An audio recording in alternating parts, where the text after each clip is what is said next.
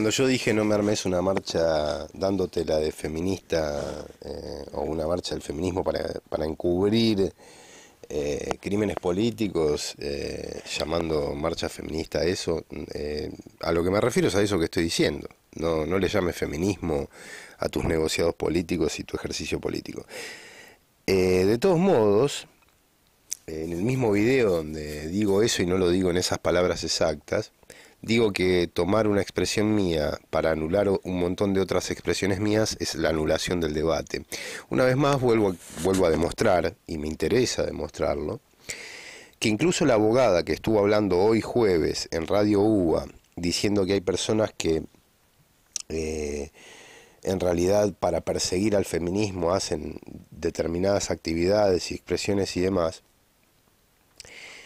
sabiendo yo que ellas, para perseguir a toda ideología que tenga un feminismo de izquierda y no uno de derecha como hacen ellas, eh, lo cual me parece bastante hipócrita, de hecho, porque eh, claramente lo que están ejerciendo no es el feminismo.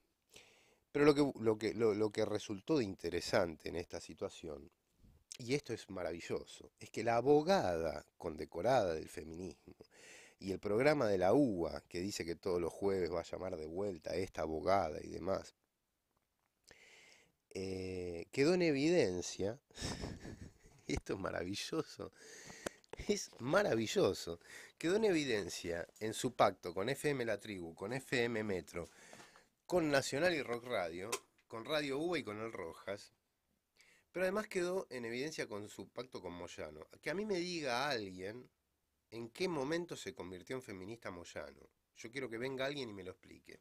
Y además quedaron en evidencia en su pacto con Macri. Que alguien venga y me explique en qué momento el macrismo se volvió feminista. Que alguien me demuestre a mí que el macrismo es la expresión última del feminismo. Con esto me parece que cierro todo el debate de pelotudeces que plantearon un montón de sectores y una vez más vuelvo a dejar demostrado que no es, eh, no es ese el ejercicio que están llevando a cabo estos sectores políticos que operan en Radio UBA actualmente y que hablan con esta abogada. No es eh, el feminismo lo que ejercen, sino que ejercen la persecución política, lo cual es muy distinto. Em, cuando yo digo no me armes una marcha de la hipocresía, no estoy diciendo que no haya marchas feministas. Esa fue la elección de interpretación que vos tuviste al respecto. Triste elección, siendo una abogada que se define como feminista. Has elegido bastante mal.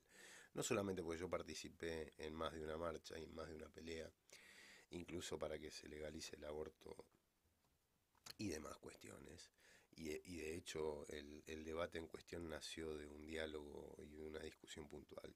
Pero además yo como documentalista y como militante y como artista tengo derecho a filmar documentales y cuando esos documentales representan evidencia jurídica, ni vos ni nadie, ni vos como abogada ni absolutamente nadie, tiene derecho a ordenar ni borrar mi cuenta de Twitter, ni borrar mi canal de YouTube, ni borrar mi página, ni borrar nada. Un carajo podés borrar porque vos tampoco podés pasar, por muy feminista que te creas, por encima de derechos jurídicos que están por encima de cualquier expresión de estupidez que vos quieras plantear como excusa. Cuando un cuando el trabajo de una persona, el trabajo artístico y documental eh, es eh, factible de ser perseguido políticamente por sus ideas, vos no podés judicializar algo que todavía no está terminado. O sea que para decidir si mi documental va a ser machista o feminista, primero tenés que dejar terminármelo, primero tenés que dejarme terminar lo que quiero demostrar. Segundo, tendrías que verlo entero. Eh, si ejerces la censura previa a un trabajo que todavía está inconcluso, directamente ya definitivamente te estás eh, proclamando vos misma y definiendo vos misma como alguien que lo que quiere ejercer es el asesinato político, la censura previa, la destrucción del debate, la destrucción del otro, eh, la difamación y el prejuicio. O sea, todo lo que vos decías que te querían hacer a vos, en realidad es lo que vos le querés hacer a los demás. Con esto ya eh, creo que finiquitado. Punto. Se te acabó el chamullo, chamiga.